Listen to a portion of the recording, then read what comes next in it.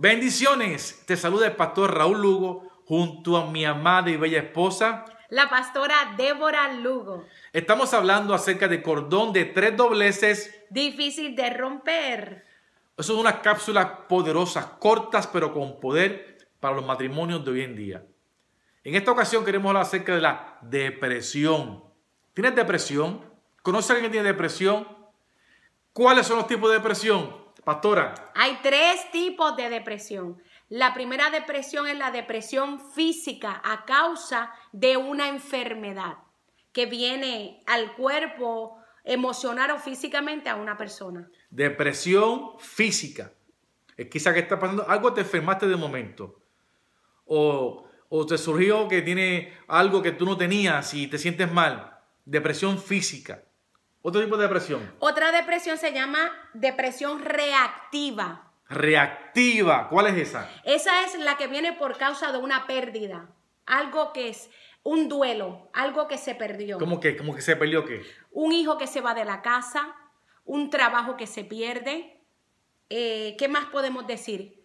Diferentes tipos de pérdida. Que se lo perdiste, algo que tenías, ya no lo tienes, quizás tienes finanzas y no la tienes por la situación adversa entonces viene la, depresión reactiva. O un familiar que perdiste y todavía no sabe cómo, cómo lidiar con la situación. Así que es bien importante que el cónyuge sepa que viene esa depresión reactiva por causa de un, de un algo inesperado.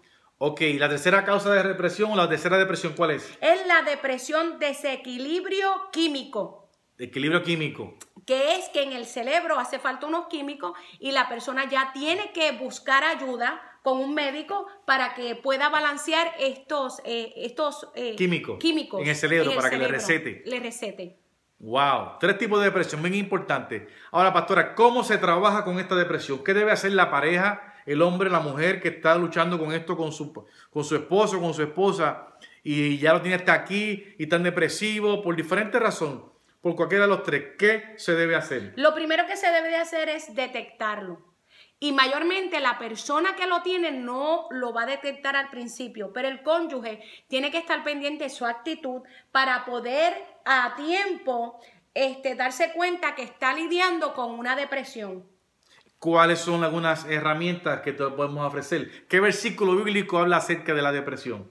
Pues mira, Él sana el corazón quebrantado y venda las heridas. Eso está en el Salmo 147.3. Salmo 147, versículo 3. Porque eso viene todo, acuérdense en que el, corazón es donde están las emociones del ser humano y, y, Dios viene a sanar el quebrantado del corazón, pero nosotros como persona, primeramente el cónyuge tiene que darse cuenta o la persona si tiene conocimiento, busque ayuda. ¿Por qué? Porque Puede ser como una olla de presión. La persona guarda, guarda, guarda y llega un momento que explota y ahí es que vienen y surgen las contiendas, hasta puede surgir un divorcio en un matrimonio. Así que es bien importante que se pueda buscar solución. Hay ayuda, busque un consejero, busque un pastor o nos puede llamar a nosotros. Dios te bendiga más. Eso es depresión, hay que combatirla. Hay fe, hay esperanza. Levántate, cree que Dios tiene algo para ti y este es el tiempo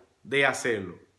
Este fue el pastor Raúl Lugo junto a mi esposa. La pastora Débora Lugo. Cordón de tres dobleces, difícil de romper. Comparte este video con alguien. Estamos para servirte. Que Dios te bendiga más.